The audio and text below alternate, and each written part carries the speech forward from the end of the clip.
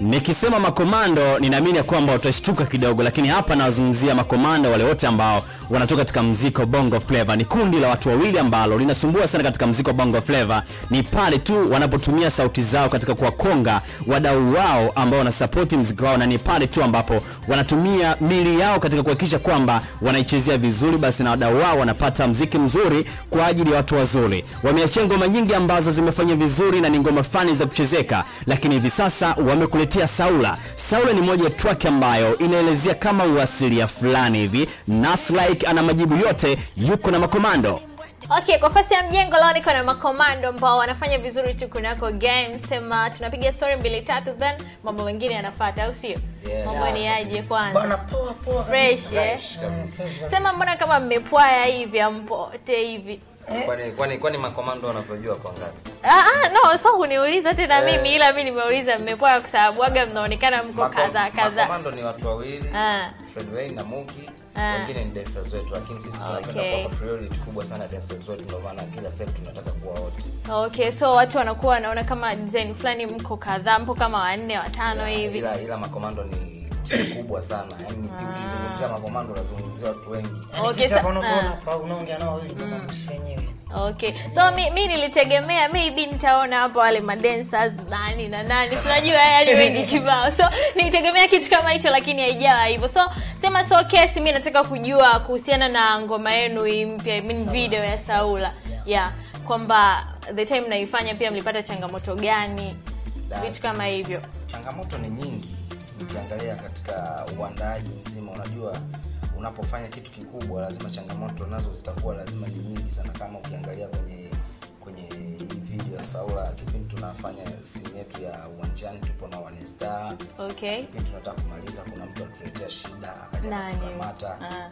na polisi. Kituoni tukamaliza tukarudi ile siku tukaigailisha tukaja tena siku nyingine Ah, okay. So ilikuwaje? Ilikuwaje mtu akaleta polisi? Figures. From nowhere tu akaleta polisi au ilikuwaje? hamna si unajua kuna tuna, kuna miangaiko mingi sana ya hapa na pale tunapitia kuna mtu mmoja tuli, tuliweka hela pamoja sisi na yeye tufanye kitu Okay. kufanya akikufanikisha ikafeli Okay. baada ya kufeli akawa ana- anahitaji sasa sisi tumrudishie hela wakati wote tuliweka pesa kwamba itakapokuja pesa mm. sisi tupate na yeye apate kwamba Okay. katoa na sisi tumetoa So? baada ya hapo mm. haikwenda vizuri mm. kwa hiyo ikabidi biashara imekufa pale kwa kipindi mna, mnafanya shooting ndio vitu kama hivyo al- aliposikia kwamba tunafanya video mm. akajua jamaa wamepata hela wataki kunipa Okay. Umeelewa? alikuja uwanjani akaja na watu wamewapanga mm. akatuchukua atukubisha tukaanza tukaenda naye mpaka kituoni tukaambia elezea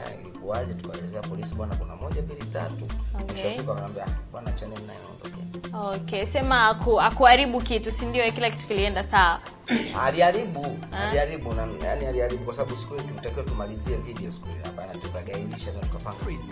Ah, Lakini okay. video imeisha kama hivyo watu wanavyoiona. okay.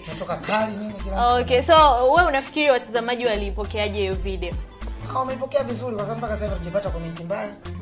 Na zaidi ya kupata tu sifa kwamba tumekuja kitofauti na tumefanya kitu kikubwa ambacho mpaka watu wengine wakituona na wana- wana- wanaogopa tumefanya kitu ambacho walitakiwa wafanye labda labda Diamond au Kiba umeelewa? kuna baadhi ya wasanii ambao wamekuwa wagumu sana kutaja kiasi cha fedha ambacho kimetumika katika masuala ya kuandaa video, lakini makomando wameweka wazi ni kiasi gani cha fedha ambacho kimetumika kuandaa ngoma ya Saula.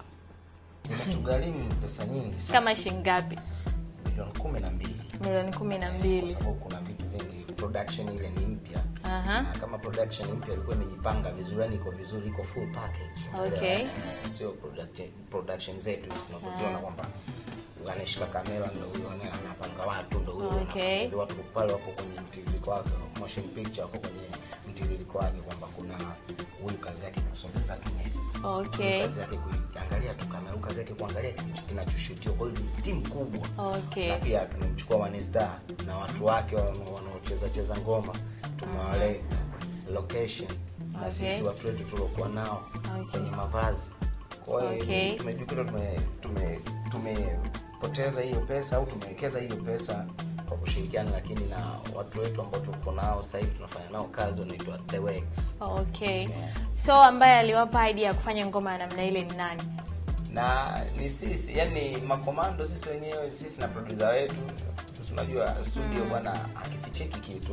Okay. Na tulikuwa tunawaza bwana mwaka 2017 tuna, tunafanya kitu gani ambacho Tofauti kita- ambacho kita- hakijawahi yani watu wataongea kama hivi.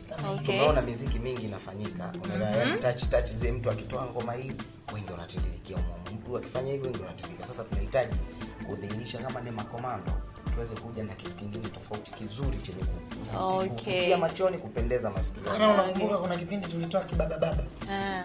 anikatai hata kama sivai tai yeah ile Ah. kulikuwa mna ngoma staili ile baada kutoa Okay. ile mtiririko wa wasanii wenzetu ukawa kama ndo ndio ndo ukawa unapiga design zile Okay. kwa sasa na sisi tena tuka- tukapiga tukatoa sheri koko lakini kama yale yale ndio maana tukasema kwa tutulie kitu kingine. Nafikiri hii utakuja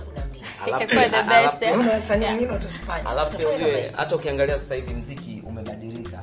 Unajua umebadilika. Siku hizi wamarekani wanataka kuja afrika Aha. yaani sasa je tunawaonyesha tunawaonyesha wamarekani kwamba wanachokifanya wao wanachokifanya wao marekani au wanatakiwa waje wasikilize saundi nyingine mpya okay. That's why tunafanya vitu kama hivyo kabisa ni traditional na tunaweza tukafanya yani traditional kwenye modern katikati. Okay. analogi na digitali. Kama ile nyimbo mpya ya- Omario kama umeiona. Aha. kuna wimbo mpya wa Omario. Ukipata muda uangalie muli kafanya nini na ana maana gani kufanya vile. Katoka Okay. kwa Marekani sikuna sehemu nyingine kaja yeah. Yeah. Sema pia mi nataka kufahamu kwamba kwenye hiyo video yenu kipande kipi ambacho kiliwapa utata kufanya yani kiliwapa changamoto? Kwamba kikawa kwa upande wenu ni kigumu katumia muda mrefu actually lile video video nzima yani ni video nzima soso kwenye kipengele cha kuchezea nyoka ah. sasa kwenye nyoka kali na mimi kuvaa zile kuvaa husika kuwa kama ilivyoigiza pale chief Eh. kwa sababu vitu vingi kama vile sijaji kutegemea kama kuja kufanya Lakini kwa sababu ya video? different, Okay.